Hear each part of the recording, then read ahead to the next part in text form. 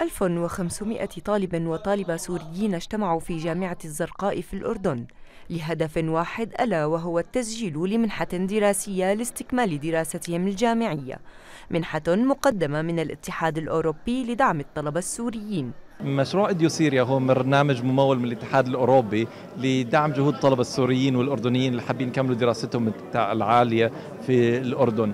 آه، في الحقيقة الاتحاد الأوروبي بيوفر في الدورة الأولى 400 منحة للطلاب السوريين والأردنيين اللي حابين يكملوا دراستهم، في الدورة الثانية إن شاء الله 1000 منحة.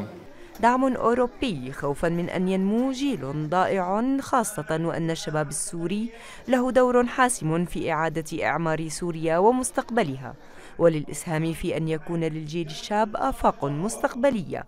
أنا بتمنى أني أدرس صحافة وإعلام وأتمنى لأنه إحنا مثل ما تفضلتي نحن جيل النهضة وجيل العلم.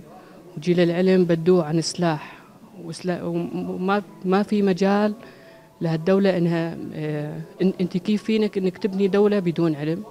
الطلاب السوريون الذين اضطرتهم الظروف إلى ترك دراستهم الجامعية بسبب الظروف في وطنهم سوريا.